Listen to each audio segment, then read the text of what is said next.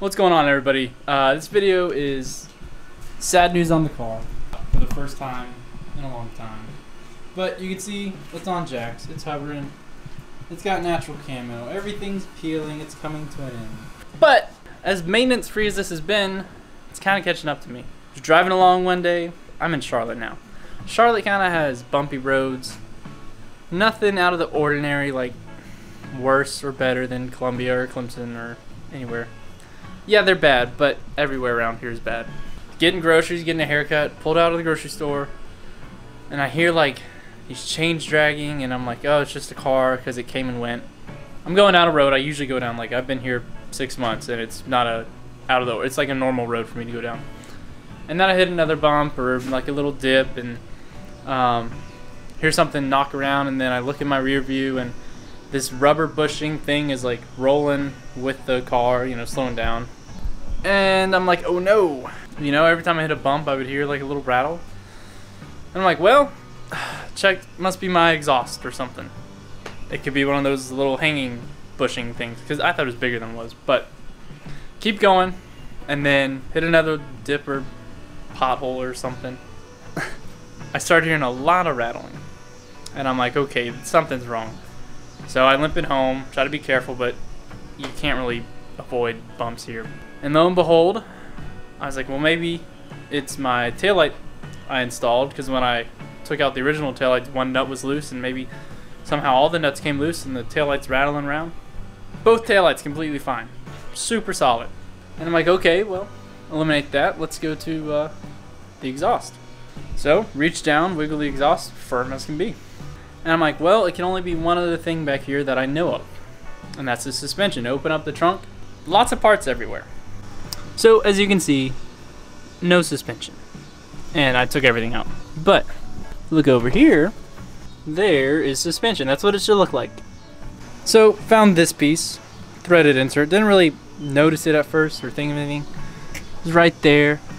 This little adjuster was also just somewhere around there and I grab it and I'm like, all right, well the nut just came undone. Let me put it back on. Wouldn't go back on.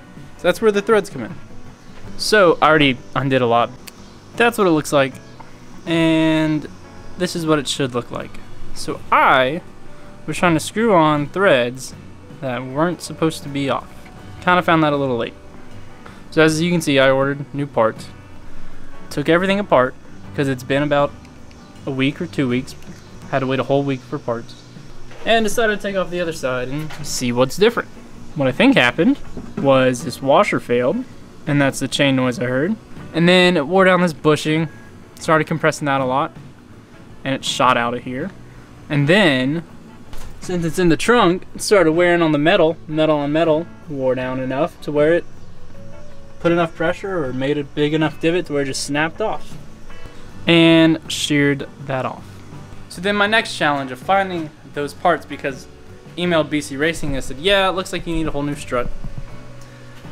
Or sorry, they call it a damper. It's basically the strut. And I have beef with that, but you need a whole new damper, so okay. And OEM hardware. So look up OEM hardware. I can only find the top cap with the bushing.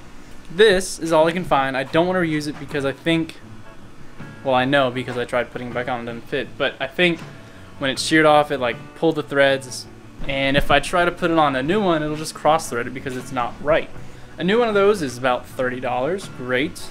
Let's find the bottom bushing. You can only get the bottom bushing and washer if you buy a whole new damper. Usually when you buy a whole new damper, not damper, shocker, strut, whatever you want to call it. And usually you replace the hardware when you get new ones. And these reuse it, which I think is big flaw. But I couldn't really get the bushings except for one place, and that's Steeda or KYB. Same picture, so I think it's the same thing. So I order it, and it's, you know, washer, lower bushing, upper bushing, upper washer hat thing, and a nut. And the nut doesn't fit stock suspension. It's made for one. It's made for a specific brand or something, I don't know. But nut's too big, so I have to find a new nut. So I picked up a nylon locking nut because that's what came in the kit figured if it's already a nylon nut, should be good. I don't really know, like, this one's kind of gold or bronze tinted.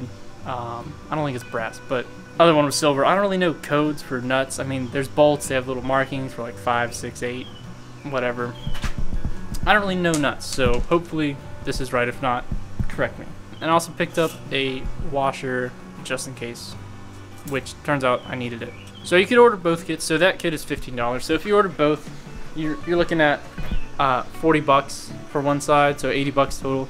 The hardware was seven bucks, so all in I'm at like 47, so half price. That was fun. Uh, I got to disassemble it. That was fun. Things you need to do this: impact gun. I don't think a breaker bar will work. You you need some impact thing. Uh, you need your spanner wrenches, which hopefully you have from BC kit that came with it. If not, you can order new ones of those. Impact specific socket. I couldn't get my Chrome socket to work. I had to buy a impact socket. That's about it. We'll see what installing is like. But to undo the damper from the base, right, you have your base. I'm gonna call it cup, whatever. Then you have this. You have to loosen this up. Uh, so it's regular lefty loosey, righty tighty. Uh, you'll have to do this while it's installed in the car. Go ahead and loosen it before you take it out. It's installed, and you'll definitely need to whack this with a hammer. And I totally didn't use a regular hammer. Definitely used a rubber mallet. So marked, uh, it's kind of crooked, but we're gonna go with the middle line right there. Marked it with tape, so we know the height. So now all we have to do is put it back together. And I bought two uh, bushing kits just so I can just so I can replace them both because if one failed I'm sure the other one is not far behind the strut doesn't seem blown still seems good so it's not like it was a blown strut that causes I don't I don't really it could just be the bump I hit at whatever speed and every factor was right for it to fail so like if I push on it it takes pretty much the same force I feel like as the new one so it is what it is I don't I don't really know this is like super weird all the parts that came off put them back on in the order.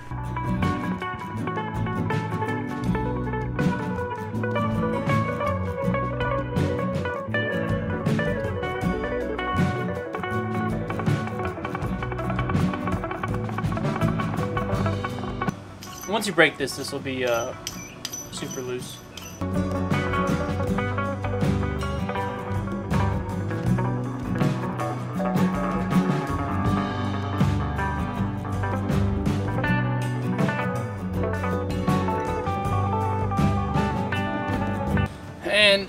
I don't know why, but I found this label has to be facing out. That's the easiest way for me to get it in. It could just be in my head, but maybe it goes in one way. The angled one, the angled bushing, goes on the bottom, and we'll put that in first. I don't know if there's a right or wrong way. Some people say one's easier than the other. And just to hold it in place, we'll put the bolt in in the back just to hold it up. All right, so it's a five mil on the inside, and I have a T-handle. I'm gonna push it up against this, I don't know the word, sheet metal, sure. I think it's a 17 nut, which your nut might vary. I think the stock one is 15, but again, I didn't take it off, so I have no clue.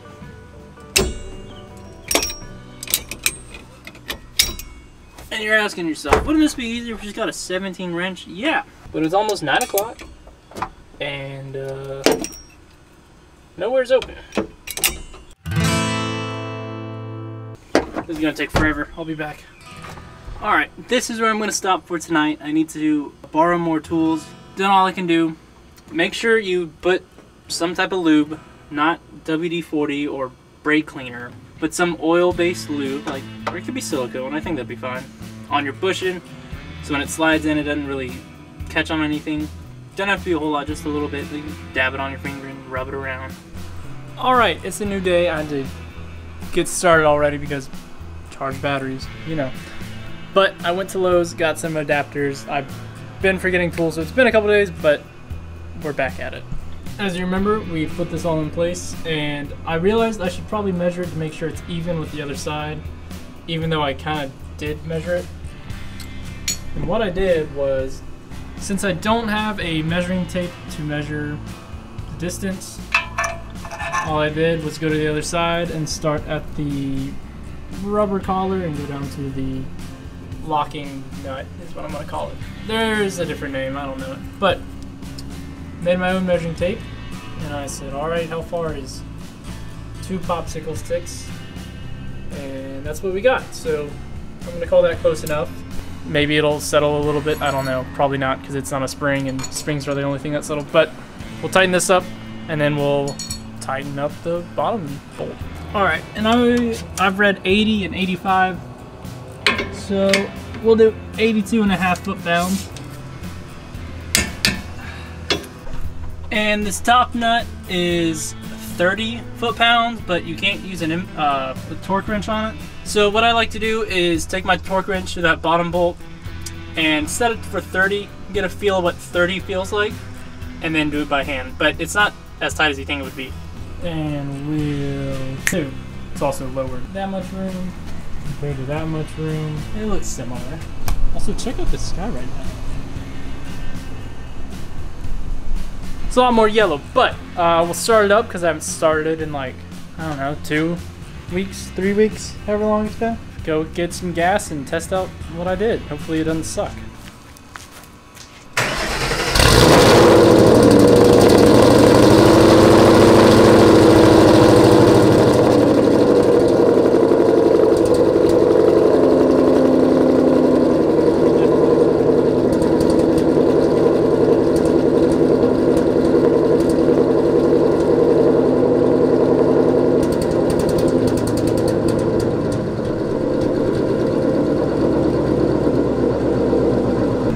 Did not sound very happy. Isn't too promising, but it's not a whole lot of noise under the engine, so I don't think it's quite rod knock yet. But those pops at the beginning are a little, hmm. Let it idle for a little bit. It did do that weird startup at Pro Auto when I picked it up, right when they told me it was like dying. So I think if I just let it sit, it doesn't like it, but it goes back to maybe there's somehow oil getting in and it just gets finicky or something. But if you know what those pops are, let me know. Because even at idle, it'll pop too. Yes. It smells not right. Boaty, kinda.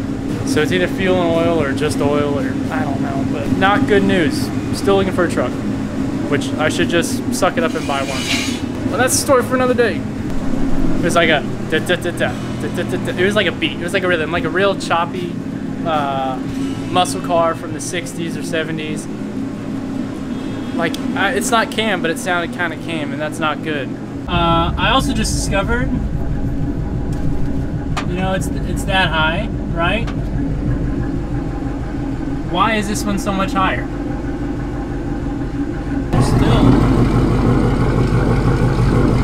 Still smoke coming out. Yeah, that's the situation. I think I know how to fix it. I think I just need to add a washer on the bottom, which means I have to take the whole thing out again. Can't win with this car. So I just undid everything that I did and figured out why it was sticking up so much higher than the other side. So, got it all back together. So it has that gold washer underneath the big washer because the big washer is too big. Remember, the nut's too big. Apparently, this is all designed for some other thing that's not OEM, so it does not fit SN97 and S197 Mustangs. Who knows what it fits? It's kind of crap. Uh, I had to put a little washer there because there's a collar or like a shelf right there that the original washer sits on that keeps it all together. So this silver washer was going all the way down and compressing it like that definitely was a lot harder to turn the nut on the inside. So that all makes sense. But now we just put a tire on, lower it, and hopefully it'll run. Moment of truth. Yep, that looks right. Compare it to that. And that looks good enough. So if you have a Mustang S197 and you have BC coilovers, I don't know what to tell you about the bushing. I still haven't found a better solution other than this, and you just use washers. Like, it seems really poorly executed. The only way you can get that bottom bushing and washer is you buy new struts, which obviously you don't want to do. You want to run the coilovers. It's kind of dumb on BC Racing that they don't even make the bushing. Like, is it that hard to make the bushing and washer? But for reference, three fingers to the top line. And over here, all right, maybe three, three and a half, four fingers to the line. So this this side is a little bit higher. Again, I don't know if I need to let it settle like new suspension because I thought that was just with springs, but yeah, that's that. We fixed it. Thanks for watching the video, but I'm probably not going to drive this car as much. I'm just going to impulse buy a truck because I need it. I might just buy a Danger Ranger or something cheap, but we need to fix this and race it. I debated buying a two valve, selling this, buying a two valve to race because it's cheaper. Talked to some guys that run two valves and have had the newer ones.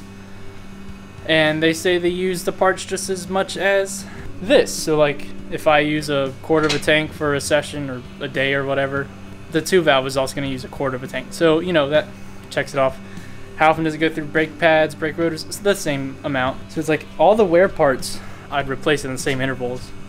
Are the parts cheaper? You could argue that. Engines are more readily available, but this has like twice the power, so make it light as possible and uh, see what happens. But uh, with that, take care. I'll see you on the next one.